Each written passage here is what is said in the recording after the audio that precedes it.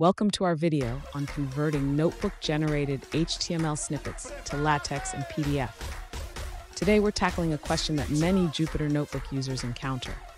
Our viewer wonders how to properly convert HTML content displayed in their notebooks into a PDF format, especially when using the NB Convert tool. Let's dive into the details of this challenge and explore potential solutions together.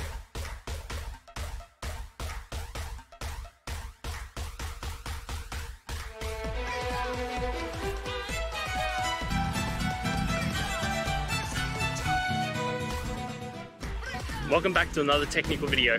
Today I'll be going through your question, answering it, and hoping finding that solution that you're looking for. Guys, remember to stay just a little bit crazy just like me and work through to that resolution. Now let's continue on. To convert HTML snippets generated in Jupyter Notebooks to PDF, we need to ensure that the HTML content is properly rendered in the final output. First, let's understand the issue.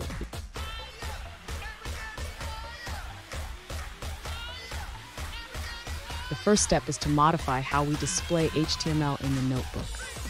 Instead of using the display function directly, we can use a different approach to ensure the HTML is captured correctly.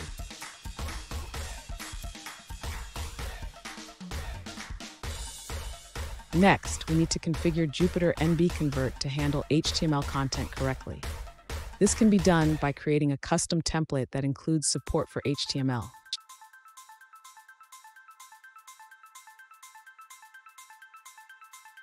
Finally, ensure that Pandoc is installed and configured correctly, as it will be used in the conversion process. This will help in converting the LaTeX output to PDF seamlessly.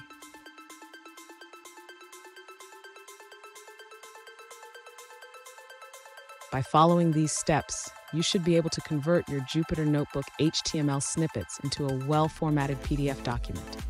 Happy coding!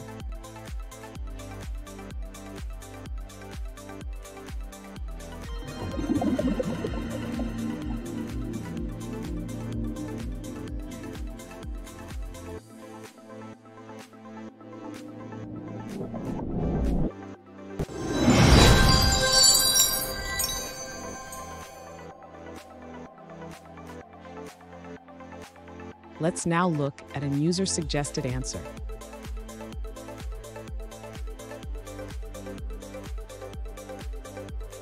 Exporting HTML from Jupyter Notebooks to PDF can be tricky. The process relies on LaTeX, which struggles with complex HTML. Simple HTML works, but even Markdown tables may not render correctly.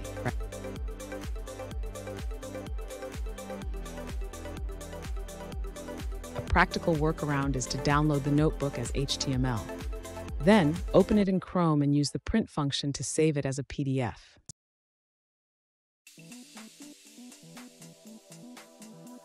And that's it guys. I hope that video helped find the resolution you're looking for. If it did, please I'd appreciate it if you could hit subscribe. Until the next time you need more technical help, I hope you have a good one. Cheers.